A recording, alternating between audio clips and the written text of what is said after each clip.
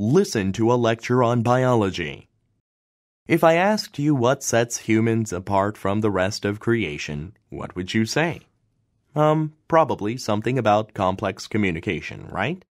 We know that primates, birds, and dolphins can also communicate on a basic level.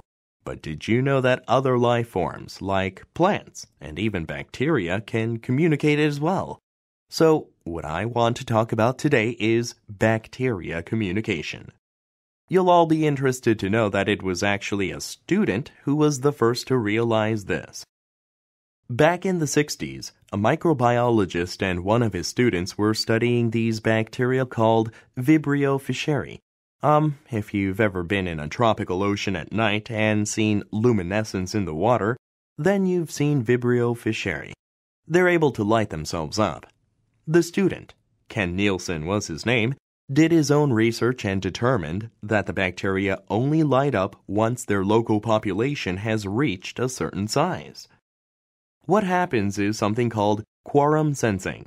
Um, a quorum is the number of people you need at a meeting to take a vote.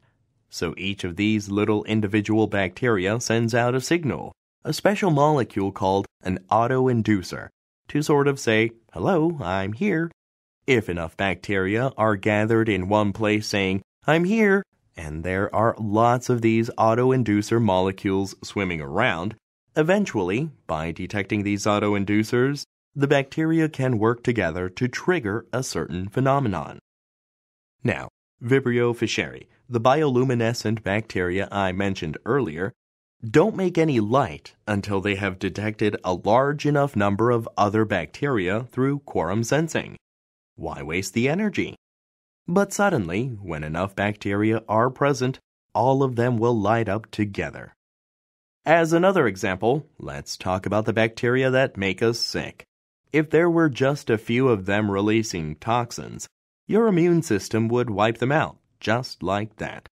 But now, if there were thousands or even millions of these bacteria all ganging up together, waiting, quorum sensing, and spitting out their autoinducers, then bam! They detect enough autoinducers and all decide to release their toxins at once.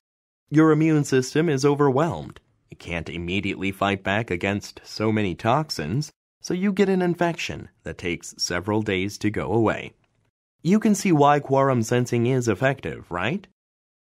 Nielsen's research didn't really have much credibility until about 10 years ago, so this is a very new field of study. Scientists still don't know how some bacteria are able to light up or how many bacteria exactly are needed to make a quorum that triggers an event. But now that we've found out how important this bacterial communication is in causing sicknesses and infections, it's being studied in much more detail.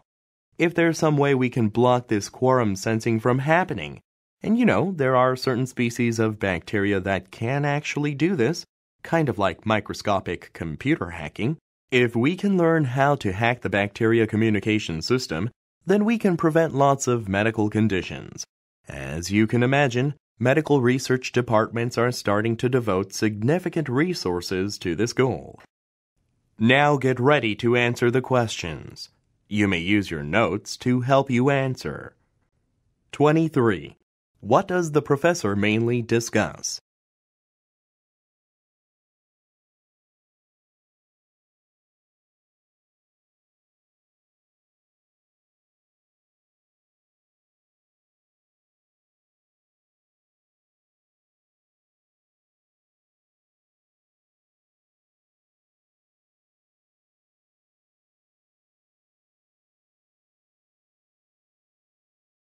24.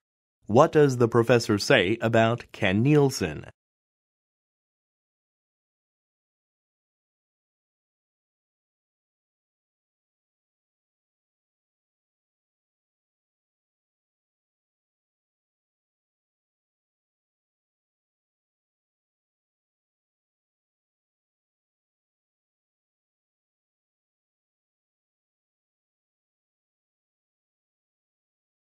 Listen again to part of the lecture, then answer the question. What happens is something called quorum sensing. Um, a quorum is the number of people you need at a meeting to take a vote. So each of these little individual bacteria sends out a signal, a special molecule called an autoinducer, to sort of say, Hello, I'm here. 25. Why does the professor say this? Um, a quorum is the number of people you need at a meeting to take a vote.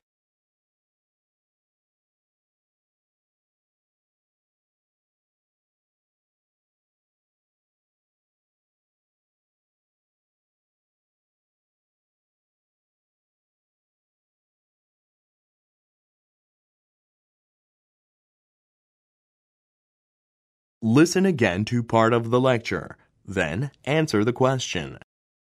Now, Vibrio fischeri, the bioluminescent bacteria I mentioned earlier, don't make any light until they have detected a large enough number of other bacteria through quorum sensing. Why waste the energy? But suddenly, when enough bacteria are present, all of them will light up together. 26.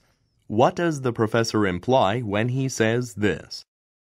Why waste the energy?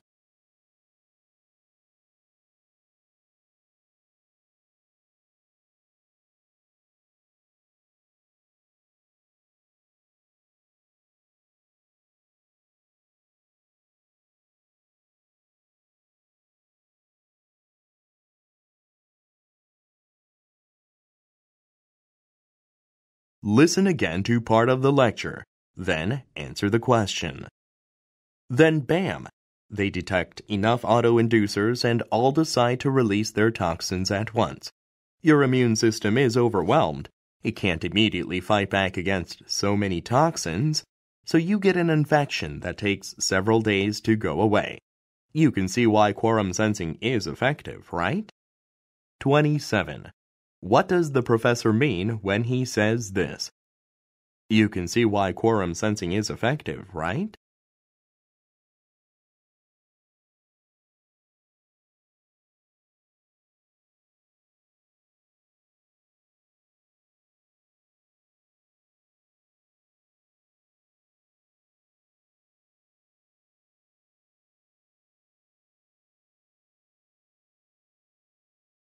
Twenty-eight. Why does the professor mention computer hacking?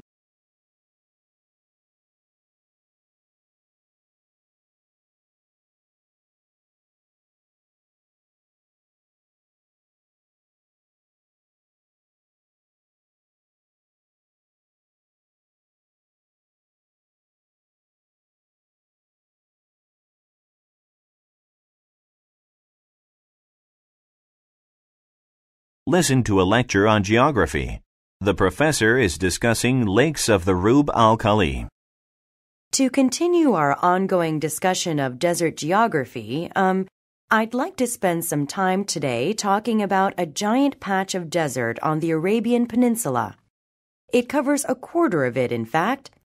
It's known as the Rub al Khali, which is usually translated as the empty quarter in English. It's an apt translation because the place is almost completely barren. There are very few plants and animals, and certainly no people. But, uh, that wasn't always the case. Seeing as there's lots of geological evidence pointing to lakes and grasslands teeming with life from long ago. Scientists figure, rather they speculate, it's hard to say for sure, that monsoon rains, the ones we see in Egypt and India nowadays, had shifted a couple of times to pour rain in the Arabian desert. The first monsoon happened around 37,000 years ago, and the second one more recently, like 10,000 years ago. These two monsoons caused desert lakes to form. It's clear that heavy rain was necessary, but another condition was needed for this to happen there had to be some clay or silt present. If there were only sand, the water would filter down and not remain standing, but the other materials would stop it from seeping away. So the geological record points to there having been two distinct sets of lakes in the area. The older lakes appear to have been formed in the valleys between the giant sand dunes running through the empty quarter. These lakes tended to be quite long, Some of them were a kilometer in length, and they likely lasted for several years before they evaporated. The newer lakes, the 10,000 year old ones, were much smaller, so they probably didn't exist for very long. Like I mentioned before, the older 37,000 year old lakes were long and thin, almost finger like. This is because the sand dunes themselves were long and rounded, so the water would run down them, taking the clay with it, and sit in the long gaps between the dunes. In the period between the monsoons, scientists guess that some sort of climate change occurred. There must have been hotter, drier conditions which brought heavy winds along to reshape the sand dunes and to make them choppier and more abrupt, giving them a crested shape like they have today instead of a smooth, rounded one. Scientists assume that the rainwater started to pool and form lake beds on these newly shaped dunes. Another point I want to discuss is the fossils found near each set of lakes. With the lakes, conditions suddenly became livable and animals started to migrate over, which was a mistake because the lakes only lasted a short time.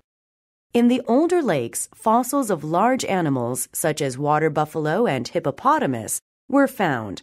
In the newer lakes, however, only fossils of smaller animals were discovered, which gives you an idea of how shallow the newer ones probably were in comparison. Both types of lakes were apparently very salty as well, if mineral deposits are any indication. The fossil record backs this up. We can find snail and clam shells in abundance there, but fossilized remains of fish. Since the lakes were not fed by a freshwater source, they became saltier and saltier, and such conditions are uninhabitable to fish. Now get ready to answer the questions. You may use your notes to help you answer. 29. What is the professor mainly discussing?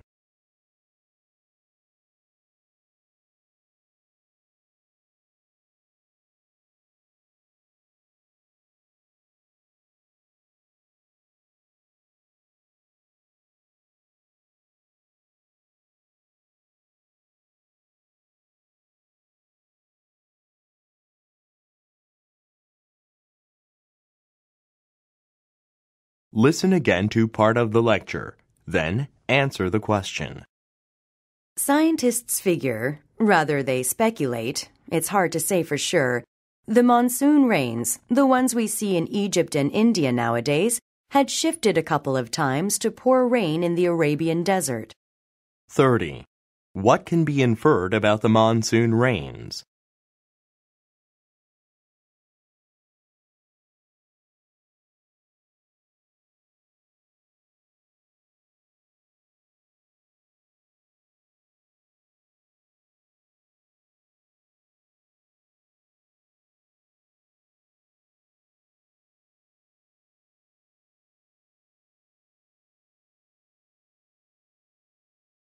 Thirty-one.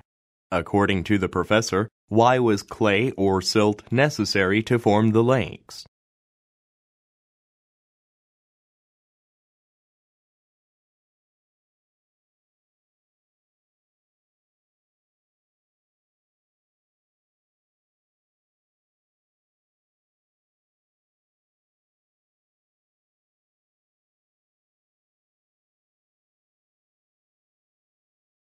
Thirty-two.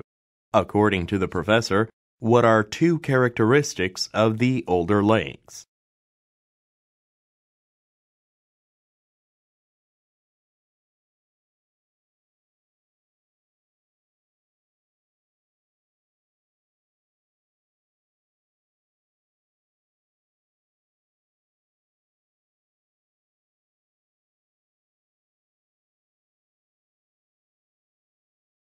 Thirty-three. What is the professor's opinion on animal migration to the lake?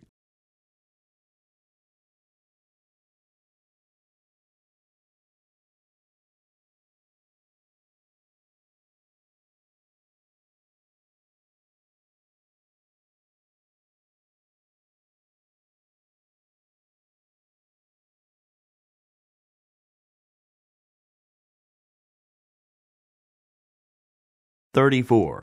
According to the professor, what is the evidence that the lakes were very salty?